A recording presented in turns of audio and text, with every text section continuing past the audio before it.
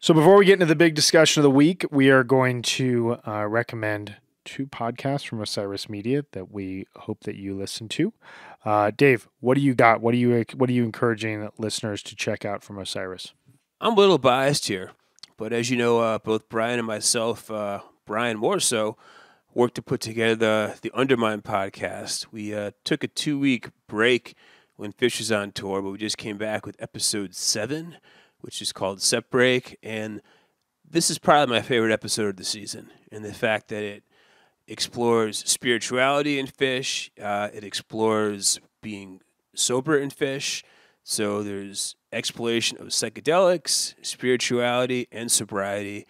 And I'm a little biased because I um I conducted two of the interviews, which make up about a uh, good like 15 minutes of the episode, and I'm extremely happy with how it came out. And just in terms of um, I'll say I'll give a little hint, a little bit what it's about. There's a large section uh, on Judaism, in particular how um, things like Jewish summer camp and Jewish youth groups and sort of uh, like Reformed Jews looking for some kind of form of like spirituality, why there's so many Jews that seem to enjoy Phish, uh, myself among them. And that was just um, really excellent section. A lot of it included our good buddy Jake Cohen, who uh, we had on Beyond the Pond to talk about uh, the Boise ACDC bag a while ago. So I just, I'm in love with the series and thought this one was really well done. And you can catch up with it if you haven't yet. But as a standalone episode, uh, episode seven works as well. I would agree. I loved uh, the way episode seven came through and the the the goal that we had of trying to tackle the spiritual nature of a Phish show through varying ways that people get there uh, was was something I felt was a huge accomplishment. Big shout out to Benjy Eisen. I am going to recommend the final episode of the Breaking Waves series. Um, I am again showing a little bit of bias here because I worked on this, but episode four, Can You Hear Us? The new Puget Sound.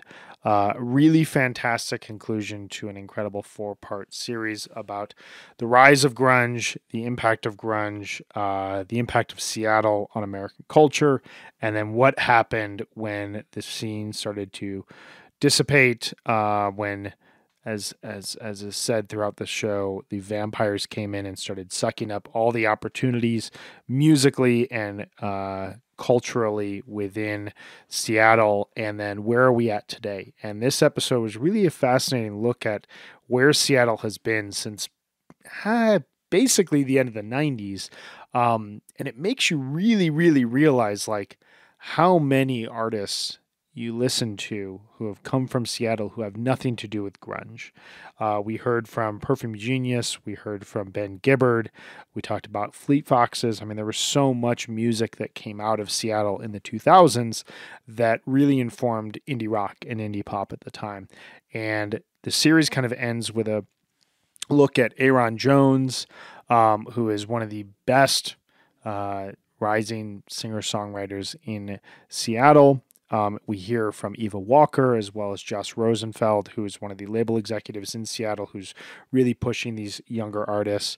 Um, I got to do an interview with Sir Mix-a-Lot for this episode, which was a fascinating, uh, incredible opportunity.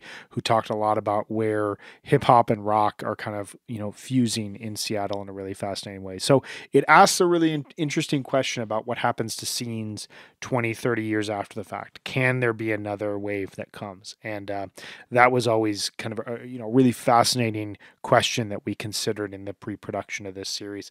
Um, two big shout outs just just from my end.